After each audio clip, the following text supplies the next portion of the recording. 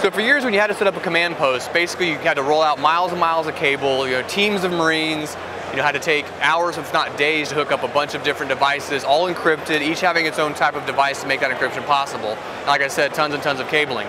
So what PacStar has done is they've created a, Wi-Fi type bubble, just like you would see in any other kind of business, any of your Starbucks. It gives you a few hundred feet worth of distance, basically a, a tent size uh, area, so you can eliminate that cable. You can have like a plug and play, like one box solution with all your encryption, all, all there, all together. User interface makes it simple to kind of decide what's doing what and how it's doing what it's doing to encrypt things.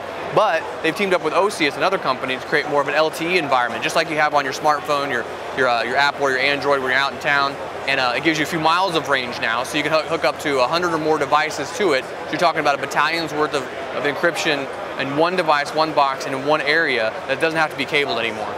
So in the same way that you might use a cell phone or a laptop today at home to connect to your wireless network, now our warfighters can do the same thing, but for classified missions. That means it enables a whole new game in terms of being able to set up, set up and tear down your command posts very quickly. It enables mobility. It enable, enables improved situational awareness because now the networks come up really quickly. You can see what's going on on, on the battlefield. So some of these devices you can, you can pack out by the man. Others have to be mounted on vehicles. Here you see all the encryption cabled together in one box solution, basically flip a switch and it gets started.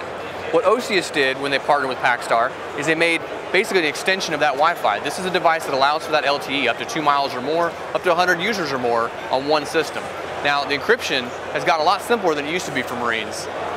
Well, as you can imagine, when you're transmitting classified information over the radio, uh, there's a lot of concern about cybersecurity. And so in the old days before our technology, you would have to buy a government designed, very expensive crypto box that you had to basically handcuff to your wrist and take everywhere. And that just doesn't make sense when you're trying to use a smartphone, gluing a crypto box to the back of that.